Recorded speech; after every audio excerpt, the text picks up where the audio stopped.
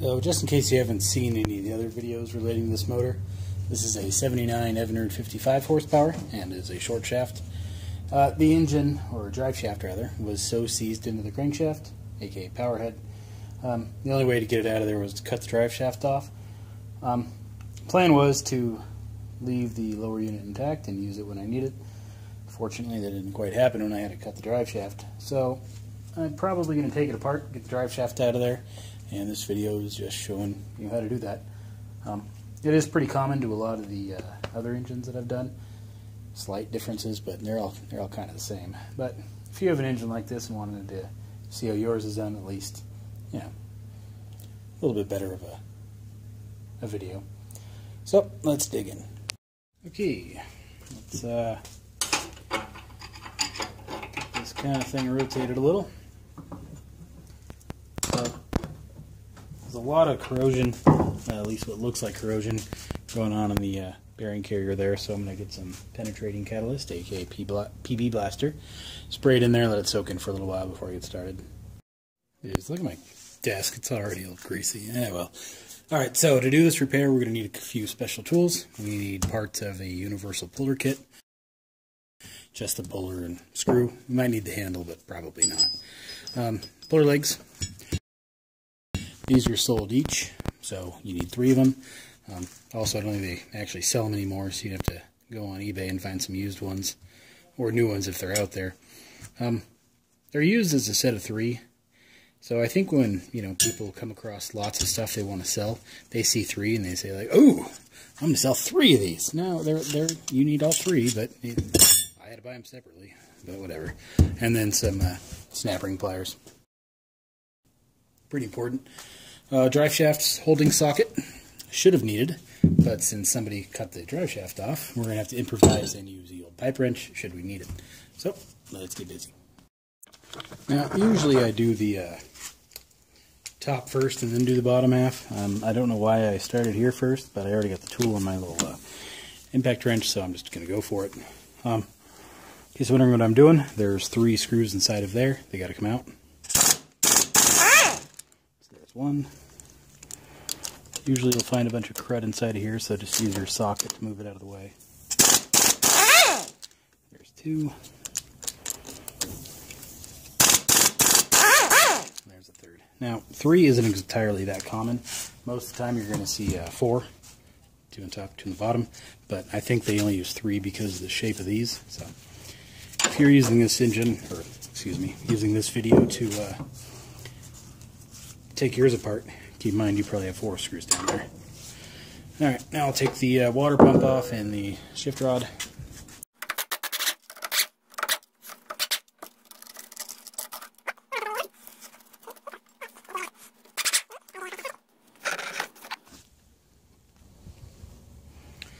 Bolts are off. Just going to unscrew the shift rod.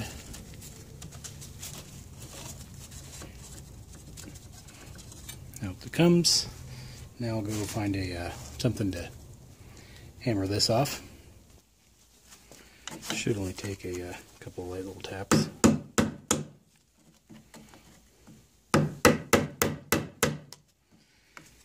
Probably don't want to do it on the screw holes,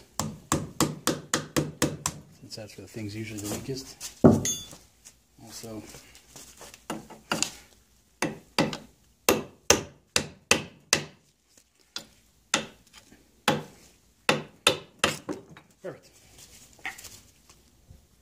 I just got to get off the uh, water pump here. What's left of it.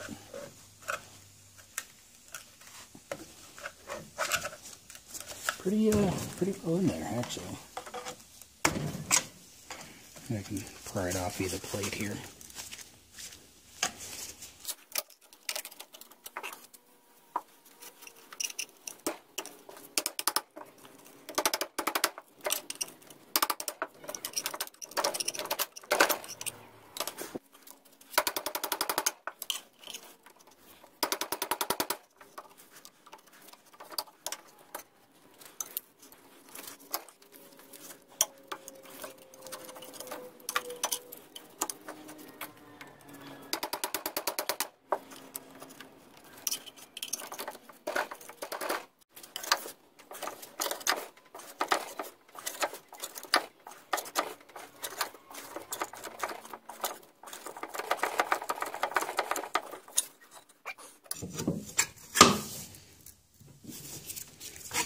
Quite expecting this one.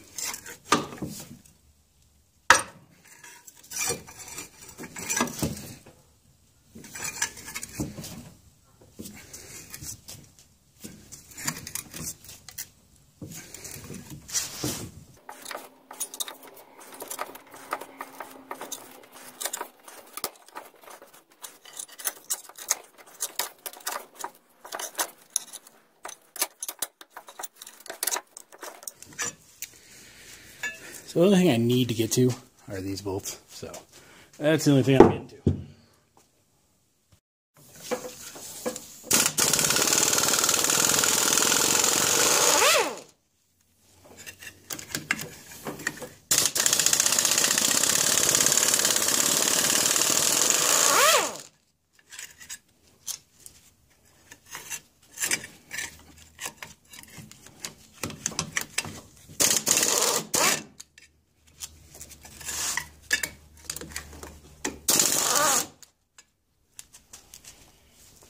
Well, four bolts are out. That's the important part. The rest, it can stay there for all I care. All right, now for the inside.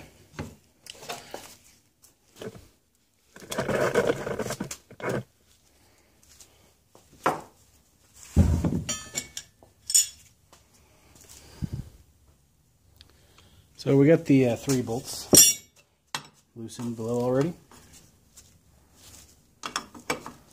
Now we just need to assemble our puller.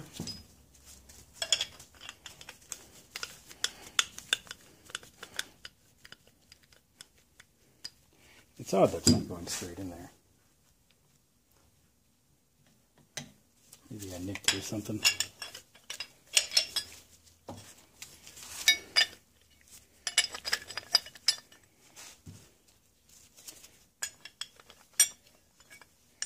Okay.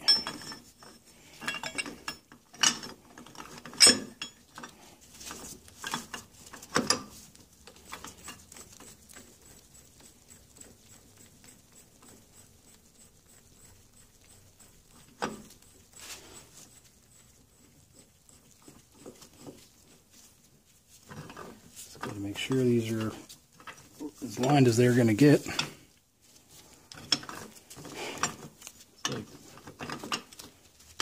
Be a little off on some, but should be okay. All right.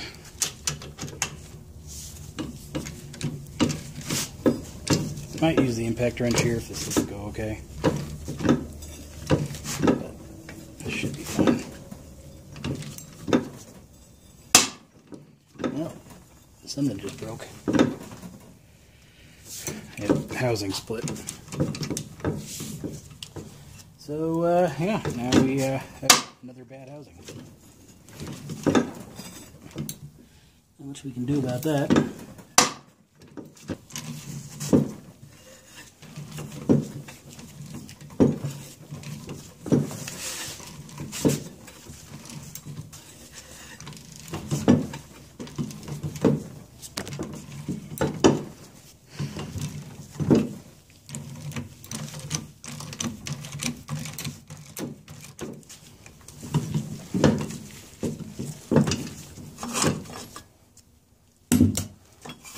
Alright, housing is up. And almost dropped. Spider webs. So that's what it looks like. And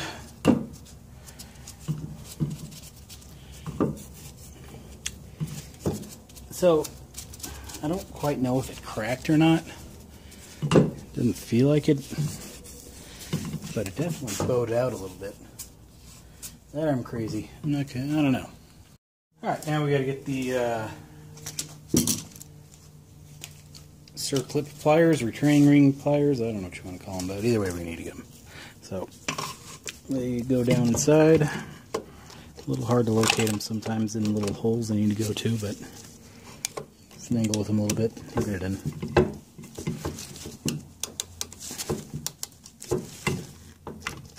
Looks like one side is pretty well stuck.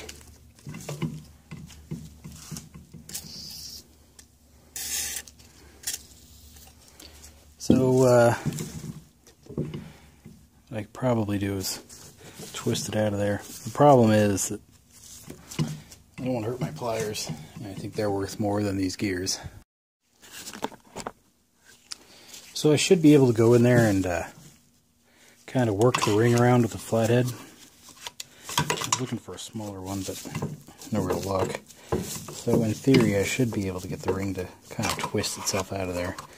Problem was I can't find a flathead skinny and long enough to be able to get it in there and my hand, so I'm just kind of using this big one.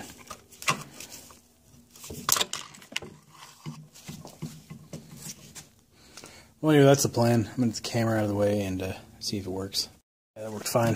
So, first ring's out. Now I'll try for the second.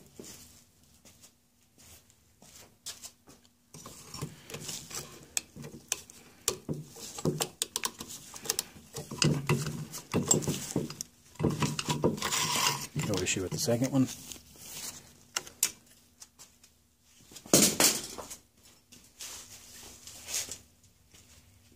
Except I dropped my pliers on the way to setting that down, so that was pretty uncool. But what are you going to do? So now there's the reverse gear and that little lock ring. Um, we're going to use the uh, twist back and just kind of jiggle it method to get it out of there. So move the camera back a little bit. And uh, yeah. Also, uh, clamps came loose. Those tighten down a little bit more.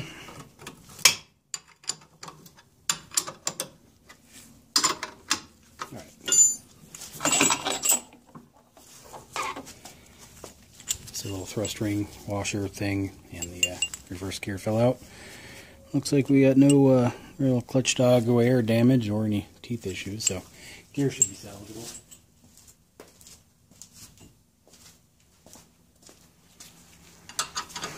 Now we're going to have the fun part of getting the uh, prop nut off. So let me find a wrench, get in there, and get it out of there. Alright, so I have an 11 16 wrench attached to the pinion nut. Now, since I am working alone, I'm going to use some zip ties here to hold the wrench in place for me. Uh, these are weak zip ties. I couldn't find any strong ones, but I've had pretty good luck doing this in the past. So, hopefully uh, history repeats itself now. So, usually, like I said, you'd use a drive shaft socket here, but don't have that option. So, I'm going to use a pipe wrench. So, let's uh, see how well this works.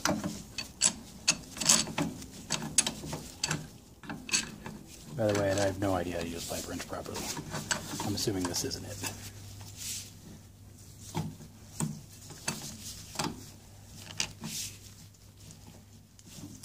Okay. Apparently my pipe wrench sucks.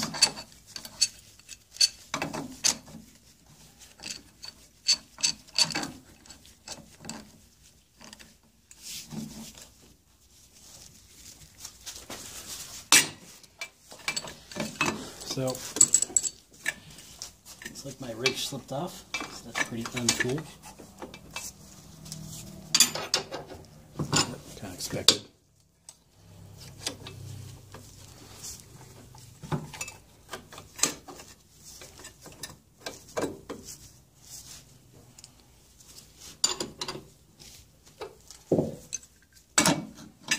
Plan is to hold it while I go.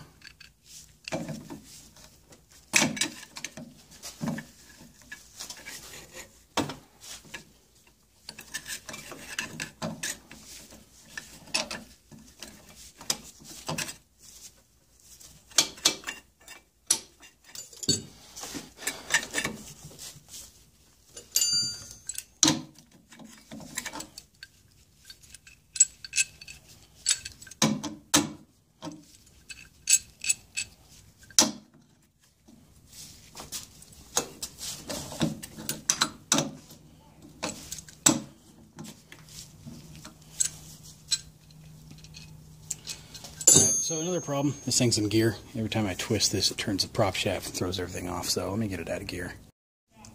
Screwed the uh, shift rod back in.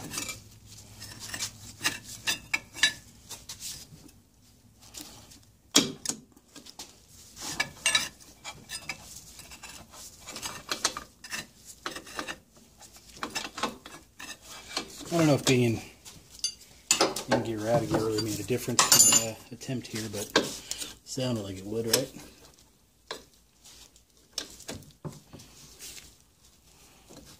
All right. Let me see if I have a better pipe wrench too. I don't.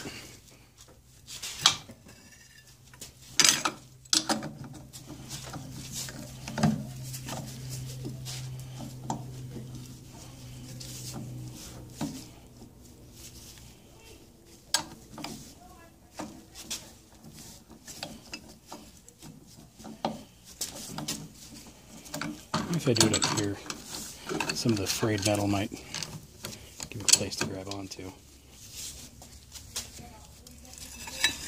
Ah, that did it.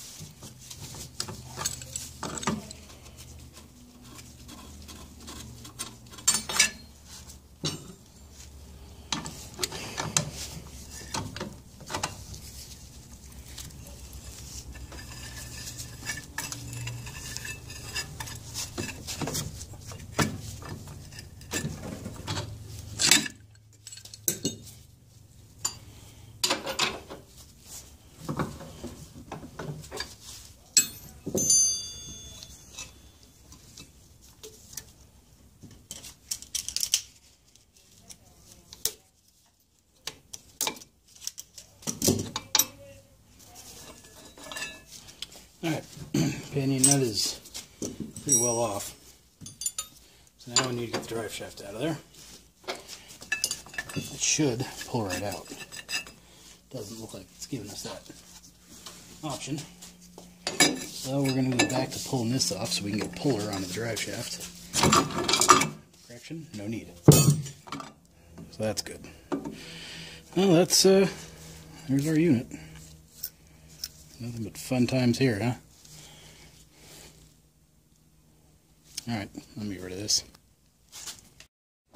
Okay, now that debunkle's over, get the engine upright, get the uh, the gear assembly out of there. Uh, we also got a pinion nut.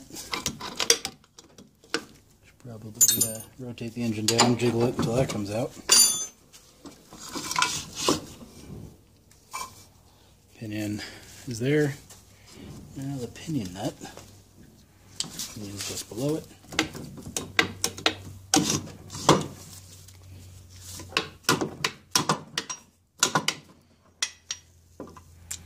Pretty well stuck. Why are these loose again? Oh yeah, I'm going to tighten these down and get the uh, pinion nut out of there. Alright, this should pull right out, but it's not plan is to use a V6 style, well, V4 V6 style drive shaft puller with some longer bolts on it, attach it to the propeller shaft, use the backing plate here to force it off. That is the plan. Whether it works or not it's going to be a whole different story, but it's good in theory, so we'll uh, see how it goes here in a second. Let me uh, get some bolts and tighten that down. No wrenches rather.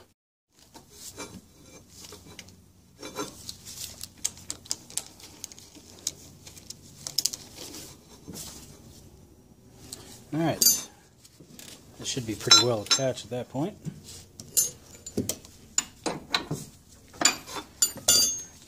And yeah, I've never done this before, so.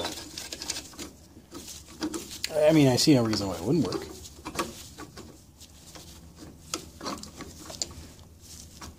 but most experiments, I will learn shortly.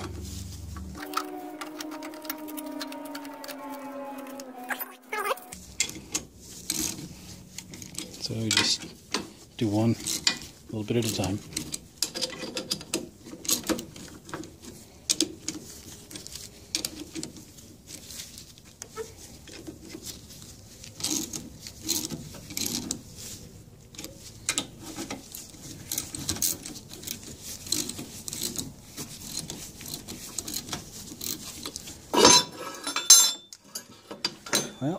That didn't take much. Just a little bit of knock to get it loose.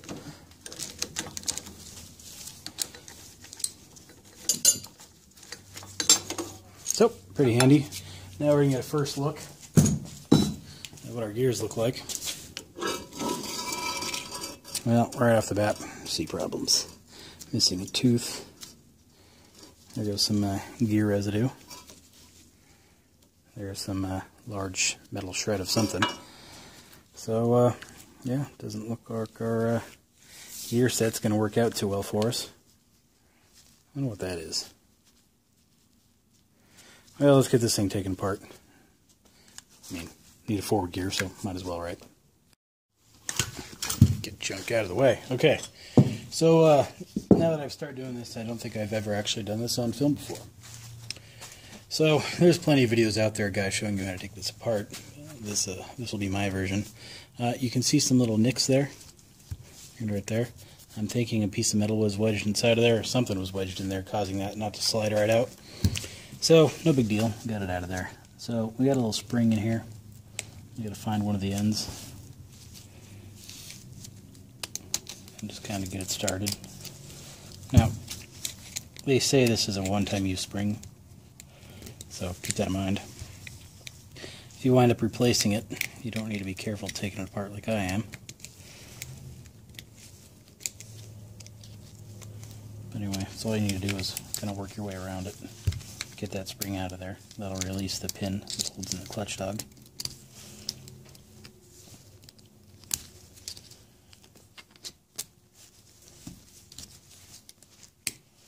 can see some marks on our clutch dog there too.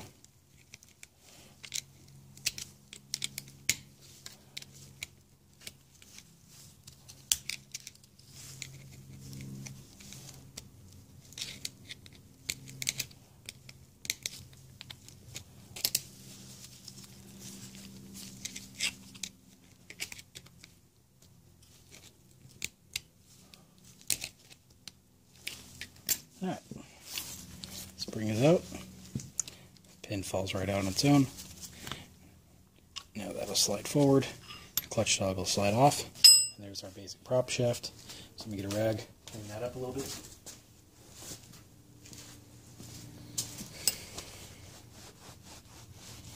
Kind of give you a better idea of what it looks like. Yep, nothing to it. Uh, clutch dog Looks fine. Teeth aren't rounded off. And aside from some little marks right there, looks perfectly fine. So, prop shaft's good, clutch dog's good. Now, forward gear. Kind of thinking our metal came from the thrust bearing, which it surely did. Um, it's it's falling apart. You can see it missing some right there. And these are just kind of on their way out. So had we had this engine to run we started up first and tried using it, probably would have ran into all kinds of problems. So maybe it's good if you're uh, awakening an old outboard to uh, kind of take it apart, give the once over first. So the uh, forward gear, two uh, pretty good missing teeth. So I'm kind of wondering if it's possible the owner didn't even know that was there. So, obviously you don't put an engine back together missing two teeth like that, but chances are it probably worked fine. Well, failure would have happened pretty soon with the bearing looking like that anyway, but still. So the only thing we really got left now is our uh, little shifter assembly. Um, it's probably fine, but you don't know what kind of metal shavings might have gotten inside of the uh, bearing there.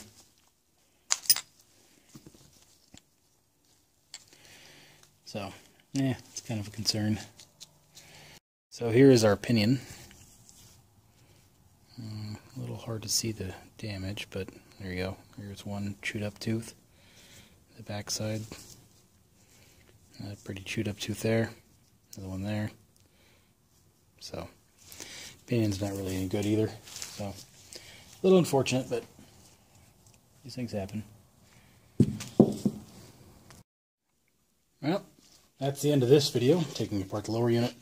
Um, what are we left with? We have a good shift rod, prop shaft, clutch dog, and forward little shifter assembly there. So damaged parts. Reverse gear, pinion, bearings, probably all of them, and the housing itself. So all in all, this uh, lower unit, pretty junky.